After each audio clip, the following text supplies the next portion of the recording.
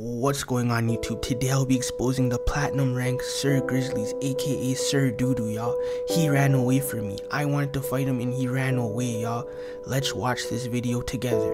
Look at it, platinum rank is running. A platinum rank is running. Stop running, Grizzly. Stop running. Stop running. Stop running. Stop running. Stop running. Stop running. As y'all could see in that clip, a platinum rank ran away from me. Why would he run? Sir Grizzlies, why would you run? Sir Doodoo, why would you run? You are garbage. You are trash. You need to delete the game. Next time I see you in boxing beta, you're gonna get minked.